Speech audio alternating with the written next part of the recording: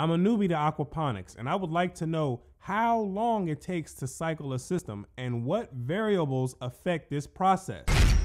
The School of Aquaponics. So, assuming that you have a brand new tank that doesn't have any previous biological filtration inside of it, um, we can pretty much measure how long it's going to take to cycle your system given an optimal condition. An optimal condition is referring to uh, pH, um, water temperature, and also the amount of input or the energy input that you introduce into your system through forms of feed, anything that's going to produce um, uh, ammonia, um, that's going to be your energy input. So, going off of these factors, we can pretty much say that it's going to take roughly around six weeks in an optimal in an optimal environment, roughly around six weeks for your cycle or your system to be uh, completely cycled. Now, if you're operating in uh, lower pH ranges uh, under six or under 6.5, excuse me, under 6.5, then your, your system is going to have a little bit, it's not going to be as efficient. The bacteria aren't going to be colonizing as quick and they're not going to be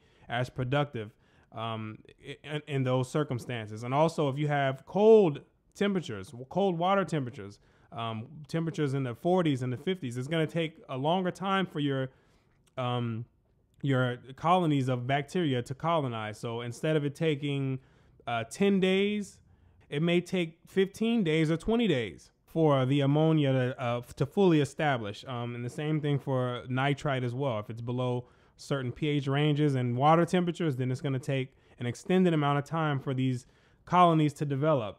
So also the feed input, how much feed you're putting into the system, if you're not putting in a lot of a feed, then you're not going to have a lot of maturity that's taking place inside the biological filtration. So those are pretty much the three main factors. If you can get them um, at an optimal or at least a feasible um, range, then you should have no problem cycling the system within six to eight weeks.